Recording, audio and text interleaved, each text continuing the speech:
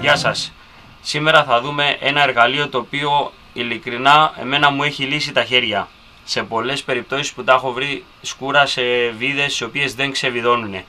Για τον ΑΒ λόγο είτε γιατί έσπασε το κεφάλι από πάνω είτε ότι έχουν χαλάσει εσωτερικά εδώ σε μια άλλη όπως είναι αυτή εδώ έχει χαλάσει το, το άλεν από μέσα και και παίζει και δεν μπορώ να τη ξεβιδώσω είτε άμα είναι γερμανικό κλειδί έχουν, έχει χαλάσει και δεν καθίζει πάνω το κλειδί μας έχει τύχει πάρα πολλές περιπτώσεις.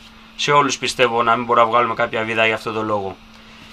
Και βρήκα αυτό το σετάκι σε ένα κατάστημα εδώ τοπικό το οποίο είναι γερμανικής κατασκευής είχα δοκιμάσει παλιότερα ένα κινέζικης κατασκευής το οποίο ήταν χάλια ειλικρινά δηλαδή, ήταν εντελώς εντελώς χάλια, δεν έκανε καθόλου τη δουλειά που έπρεπε και ούτε για αυτό το λόγο που τα αγόρασα και ήταν για τα σκουπίδια.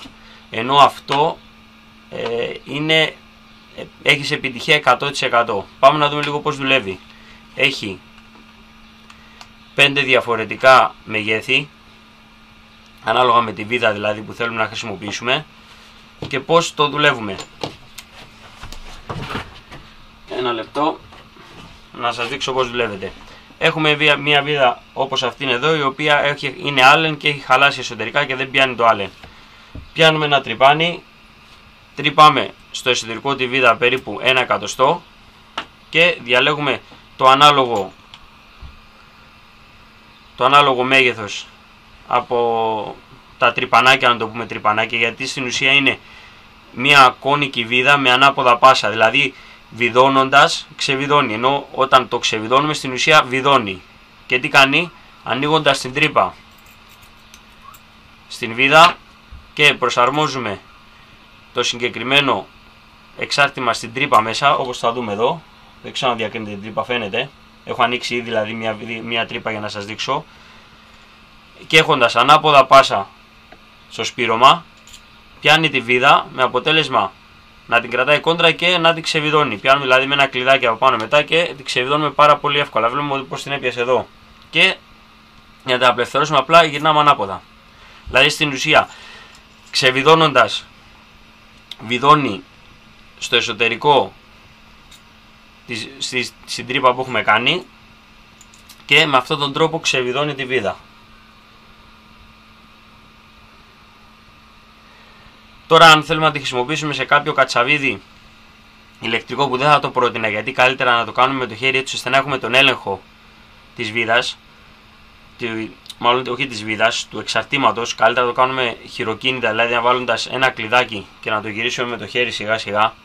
Έτσι ε, επιτυχάνουμε να έχουμε καλύτερο έλεγχο. Γιατί με το ηλεκτρικό μπορεί να πατήσουμε απότομα λίγο το, το κουμπί και να πηδήξει και να μας χαλάσει είτε το εξάρτημα είτε να μας χαλάσει την τρύπα από μέσα και να χρειαστεί να ξανακάνουμε καινούρια τρύπα. Και θα έχουμε θέμα. Επομένως καλύτερα με το χέρι. Και όπως είδαμε εδώ, μόλις το κοντράρουμε πιάνει τη βίδα και τελείωσε. Δεν την αφήνει με τίποτα.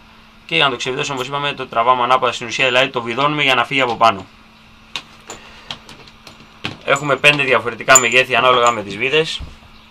Εγώ στην προκειμένη περίπτωση χρησιμοποίησα αυτό εδώ για, την, για αυτή τη βίδα.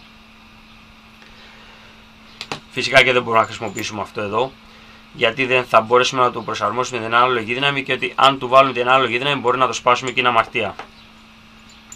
Και αν θέλουμε για μεγαλύτερες βίδες έχει και μεγαλύτερο, μεγαλύτερους, δια, μεγαλύτερου διαμετρήματος.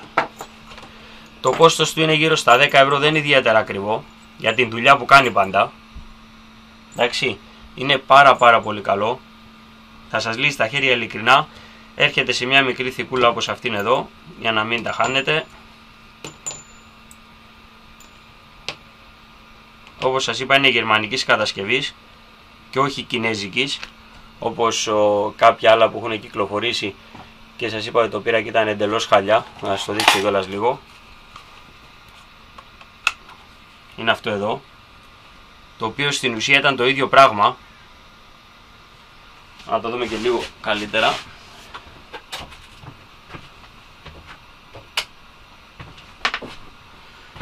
Να το δούμε και λίγο καλύτερα. Στην ουσία δηλαδή το ίδιο πράγμα είναι με ανάποδα πάσα αλλά βλέπετε εδώ το ότι έχει πολύ μικρό μέγεθος με αποτέλεσμα να μην ε, μπορεί να πιάσει εύκολα το αντικείμενο που θέλουμε να ξεβιδώσουμε. Όχι ότι δεν δούλεψε, αλλά δουλεύει στις 3 στις 10 περιπτώσεις. Ενώ με το συγκεκριμένο δούλεψε 10 στις 10. Δεν είχα ποτέ ποτέ πρόβλημα. Δηλαδή μέχρι τώρα πήγα να έχω ξεβιδώσει περίπου 5 βίδες, οι οποίες με δυσκόλεψαν και τις 5 τις ξεβίδωσε.